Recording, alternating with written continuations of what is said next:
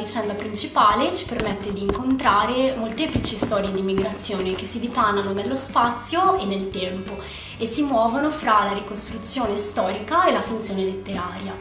Credo che l'incipit sia abbastanza evocativo. Il lettore accompagna il protagonista al suo appuntamento presso il consolato canadese di Beirut per ritirare il, il passaporto su cui è stato apposto il tanto agognato quanto detestato visto.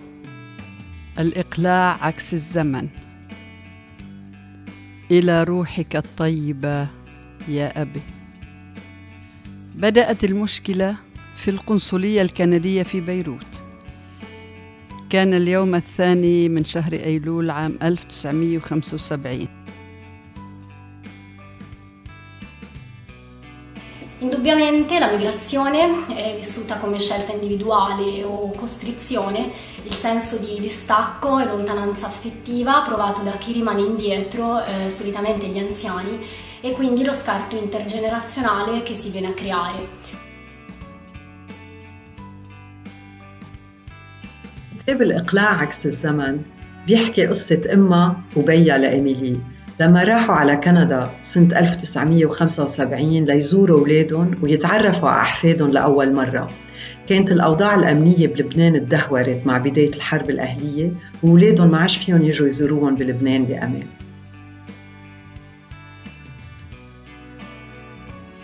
Ove possibile, penso che sia fondamentale intavolare un dialogo e un confronto aperto con l'autrice e l'autore, che vada poi a riflettersi nelle scelte interpretative proprio del processo traduttivo, per far sì che le nuove sembianze corrispondano il più possibile alla tavolozza originale.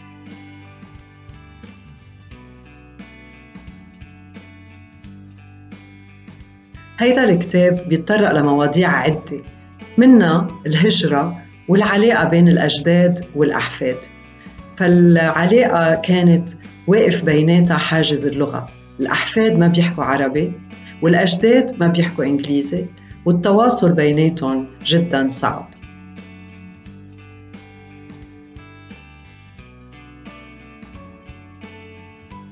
Sicuramente è stata un'esperienza privilegiata, eh, dato che ho avuto modo di conoscere direttamente Emily, di ascoltarla, di discutere con lei durante tutto il lavoro di traduzione, tra un volume e l'altro della libreria di casa sua e anche tra un boccone e l'altro.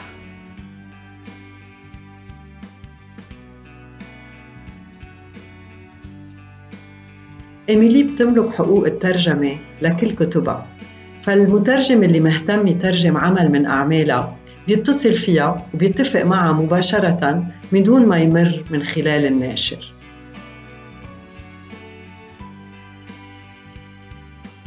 Come detto, ho avuto occasione di incontrare Emily Nostralla in circostanze più formali, ehm, ma quello che vorrei sottolineare è il fatto che in questo caso particolare eh, la relazione è andata oltre E ho potuto conoscere Emily eh, sia come scrittrice che come persona.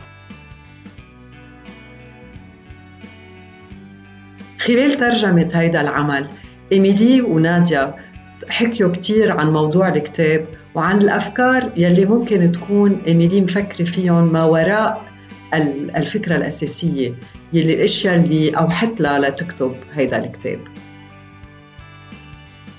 كانت ناديا بلبنان لما تعرفت على إيميلي. إجت لعندها وتغدت عندها. إيميلي عزمتها على الغداء ببيتها وتعرفت ناديا على عائلتها لإيميلي. حكيت معهم باللغة العربية اللبنانية العامية. L'aspetto più problematico e quindi anche il rompicapo più piacevole è stata la resa di espressioni idiomatiche e di formule apotropaiche, eh, a cui l'orecchio italiano sicuramente è poco avvezzo. Ehm, credo anche che la mia conoscenza del contesto libanese, non meramente libresca ma basata sull'esperienza diretta, mi abbia aiutata a non tradire eh, prepotentemente il testo dal punto di vista linguistico-culturale.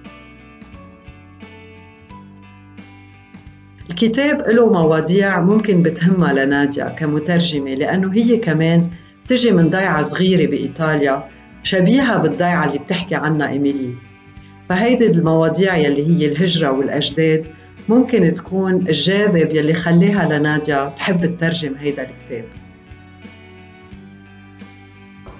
Eh, grazie Maha Nasrallah per continuare a dar voce alle memorie di tua madre. أنا بتمنى لها لناديا تكون بصحة جيدة دايما مع هالأوضاع الصعبة اللي عم بمر فيها العالم وإيطاليا بالأخص. وبتقول إن شاء الله شي يوم تقدر تترجم عمل تاني لإيميلي إلى الإيطالي.